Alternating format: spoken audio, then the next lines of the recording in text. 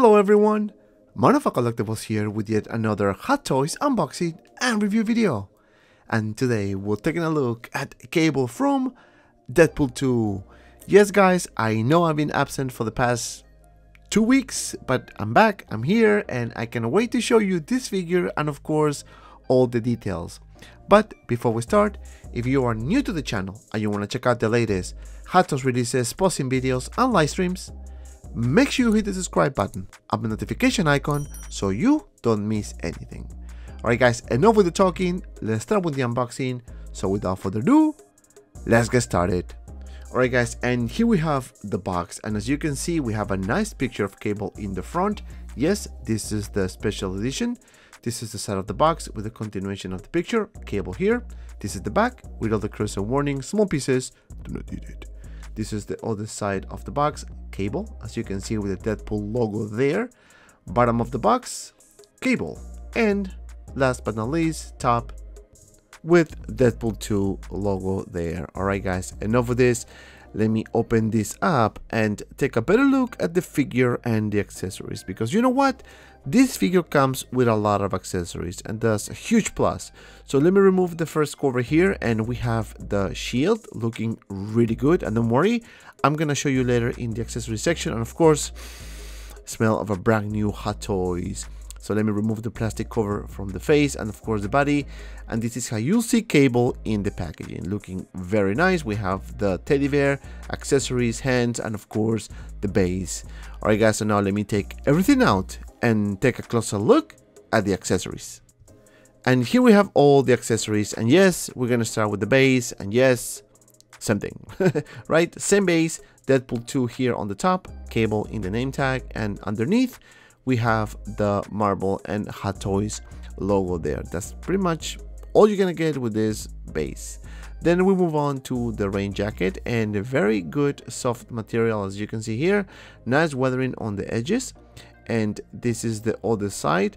Good thing about this thing guys is wire very thin wire inside. So you can actually do really cool poses if you spend some time. But don't worry again i'm going to show you everything in the posing section. Then we have this shield here looking pretty cool. I like the design and the color of course you see this translucent thingy right here so this is where you can actually put the shield and of course you can rotate it so that's a huge plus because you know you can move it any direction you want then we have this teddy bear. This is the burnt version of the teddy bear. As you can see, looking very good. Love the paint application, especially the burning piece. One half is burned, the other one is, eh, it's okay, it's kind of dirty. Then we have this um, I think this is like a time machine type of thing that you can put on the wrist. Uh, as you can see, nicely painted as well. Then we have three bullets that you can actually put on cable. Very nicely painted. You can see the golden and of course the black edges looking good. And then we have this little knife here, which I don't know guys, but I couldn't find a spot for this thing. so maybe it's me, I don't know. But as you can see, nicely painted, especially the edges and of course the blade. Then we have one gun here and this one looks pretty cool if you ask me. You can see the silver edges on the handle and of course the cannon looking badass. Very modern, right? If you ask me. Then we have this little pistol here and as you can see nicely painted and weathered this is the other side and of course you can remove the magazine and you can see one little bullet sticking out over there so you can use that with that and of course you can actually change these um, magazines with the extra tools that you have here. You can also put this on uh, cables belt. Then we have this disc here and I think this is for uh, time travel. You can see the red and uh, gray on the other side, nicely painted overall. Then we have three more magazines that you can actually put on the on the bullet proof vest and as you can see this looks pretty cool. It's a bit difficult to put it on the vest but don't worry you know you'll see it in the poses. Then we have this badass rifle here and let me tell you a lot of details going on. Very nicely painted. You can see that you can remove the magazine as well. And again another bullet here and that's basically it then we have on the top you can move this piece up and down or forward and backwards and it is pretty cool then you can move this piece uh, forward a little bit and then you can move the bottom part as well so I think this thing looks massive very nicely painted especially the attention to detail. This is the front, you can see the cannon, and of course this is the other side with which is magnetic. So you can actually put this in the back of cable. So that's a cool thing, right? Then we have a few hands, so I'm going to show you four. So I'm going to start with these three first.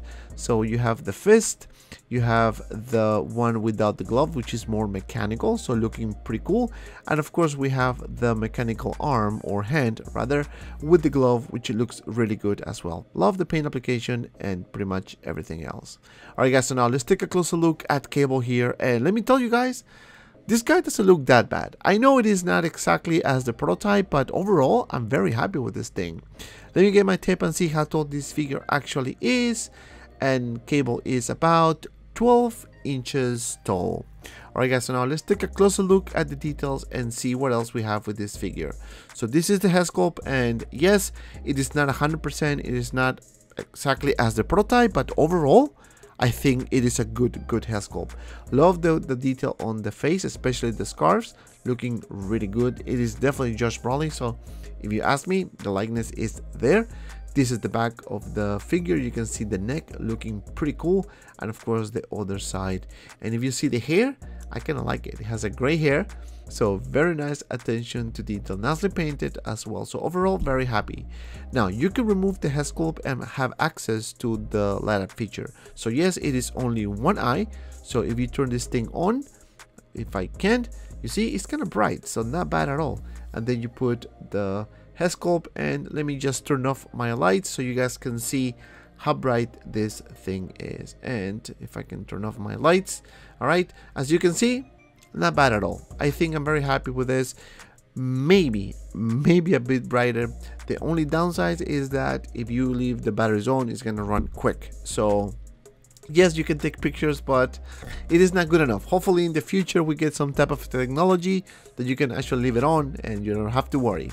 Now moving down you can see this little piece here where you can put the bullets. This is the bulletproof vest and of course the single joint um, arm which don't worry we're gonna go over the articulation in just a second. This is the other side looking pretty cool now this is the mechanical arm and the attention to detail is really really good. Love the detail. Yes you can see the nice paint application and mechanical mechanical pieces going on. This is the hand. You can see the fingers and of course the hand. Now the as you can see we have the bulletproof vest and of course we have the belt. This is the gun holder. You can put the big gun here looking really good this is where you can put the magazines and of course the pants nicely weathered as well so very soft material not you know, I don't see any issues for articulation. Now, moving down, you can see the boots, which are two pieces, and that's a huge, huge plus because you know what? You can actually do very cool poses with this thing, right? You can see the other boot, and of course, the bottom of the feet with no weathering whatsoever, but hey, I'm okay with that. You can see the other uh, side of the figure. This is the back, more weathering, of course, the booty and the belt looking pretty cool love this plastic gun holder there and the back of the vest as you can see looking pretty cool and of course the attention to detail on the mechanical pieces and don't worry i'm gonna take the shirt off so you guys can see pretty much everything alright guys so now for the articulation you can move the head up and down this much and to the sides this much not bad now for the arm you can okay i took it out so i guess this seems to be a problem here. Alright, so it's not broken, so I can just put it on. You can do a full 360 with the arm. Obviously, no swivel on the bicep because it's one piece. You can bend the elbow one single joint, and that can bother a lot of people. And some articulation on the hand. Now, for the chest, you can do swivel and up crunch. So really not bad at all. For the other arm, the real regular arm, you have one you know single joint here so that could be a problem for the legs you can do a split for about this much swivel here you can lift the leg for about this much back not so much just a little double joint on the knees so that's a huge plus and of course the articulation on the feet which is pretty good because i guess two pieces right? All right, guys, so now let me show you this thing without the shirt. And damn, this thing looks freaking amazing. The amount of detail on this is fantastic. Now, we can argue the proportions. It doesn't look bad, but it's not the best, right? I have to be honest with you guys, right? It is not the best proportions, but overall, I'm very happy with this. A lot of things going on, especially you can see now the articulation moving up and down on the chest. So very nice. Love the detail on the skin that blends perfectly with the mechanical pieces or the mechanical body.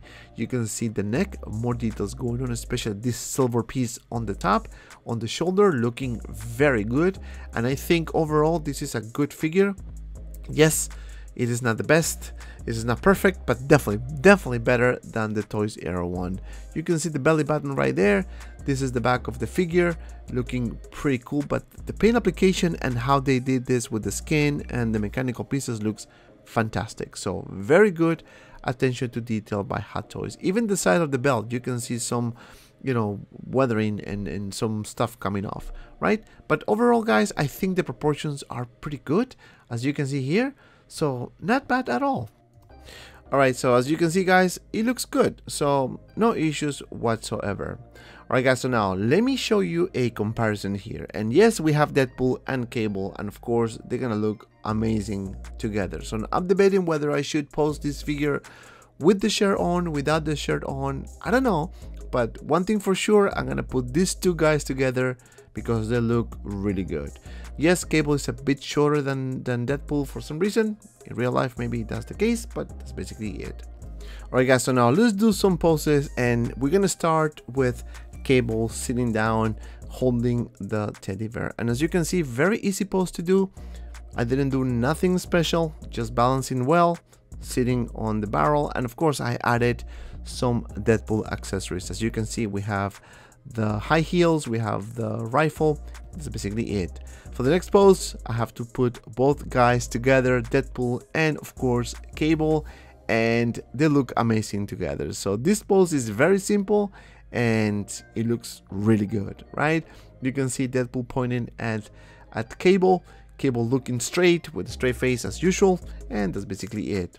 Now for the next pose, I have to put Cable fully loaded, yes, including the shield and the raincoat. And let me tell you guys, if you want to pose your figure like this, you definitely should. I think it looks way better than without the shirt. Even though without the shirt has a lot of details, I think this pose here is badass because it kind of shows you Cable of how he really, really is. Now the next pose, I put again Deadpool and Cable together. Yes, we have the Infinity Gauntlet here. Yes, doing the middle finger. And of course, Deadpool wearing Thanos helmet and Cable next to him. And they look amazing together. I wish I have the space because honestly, I would love to display these two guys like this. And that's basically it for this pose.